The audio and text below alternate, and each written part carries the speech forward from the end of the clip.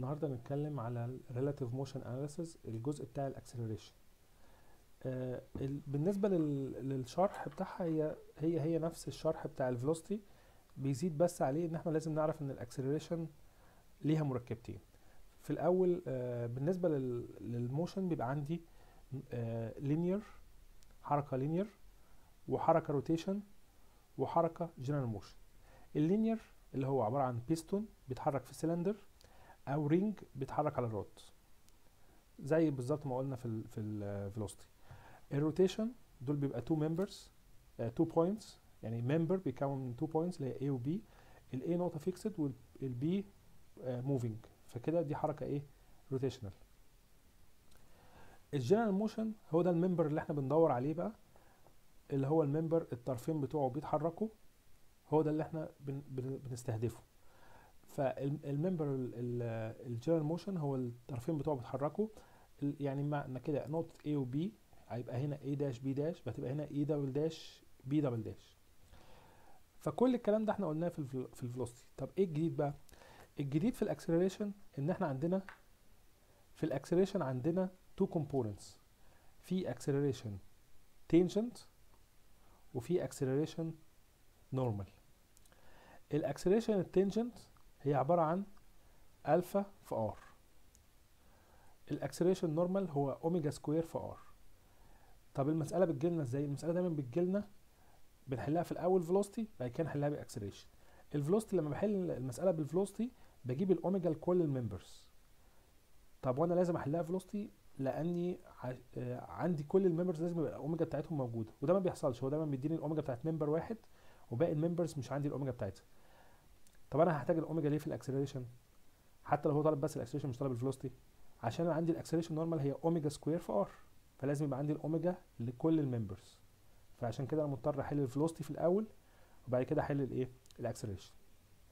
فهو نفس الفكرة بتاعت الدرس اللي فات إن إحنا عندنا آه، بدور لما يكون مثلا بختار ال member اللي هو اتحرك حركة جنرال وبطبق عليه ال rule بتاعنا. يعني إحنا المرة اللي فاتت كنا بنقول V A بتساوي V B plus V A relative to B طب اشمعنى اخترت A B عشان A B الطرفين بتوعه بيتحركوا.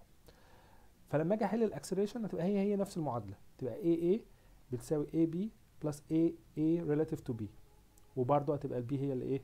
fixed طب لو أنا ابتديت بال B يبقى هحل المسألة كلها بال V الأول. في يبقى V B بتساوي V A plus V B relative to A وال acceleration لازم تبقى زيها. هتبقى A B بتساوي A A plus A B relative to A ساعتها هنا يبقى ال A هي اللي fixed ده بالنسبة لل acceleration آه في حاجة بقى في ال acceleration لازم نبقى عارفينها. لما نيجي نحل ال acceleration هي ال acceleration ليها مركبتين. acceleration tangent و acceleration normal طب ال acceleration ال total بتساوي إيه؟ acceleration tangent ناقص acceleration normal ال acceleration tangent اللي هي الفا في r ناقص ال acceleration normal اللي هي omega square في r فاحنا لما بنيجي نحل ال acceleration لأي نقطة هنقول ال acceleration tangent ناقص ال acceleration normal acceleration tangent اللي هي الفا cross product r وما ينفعش اعكس ما ينفعش أقول r cross product alpha لا لأني تختلف هنا إحنا الاي في الجي غير الجي في الاي فلازم يبقى alpha cross product r أما هنا ال omega square r ده product عادي فلو عكسناه مش هتفرق. إنما هنا لازم نعمل alpha cross product r وطبعا إحنا عندنا ال- الاتجاهات اللي اتكلمنا عليها المرة اللي فاتت هي هي إن ده i j k آه لو من ال i لل j لو ضربنا i في j هيطلع لنا k يبقى كده ماشيين عكس عقارب الساعة.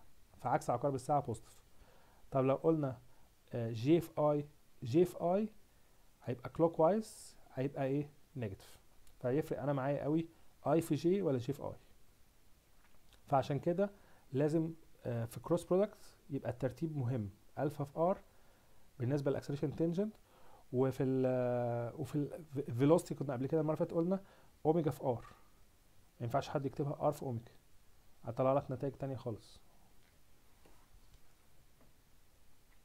نشوف المسائل.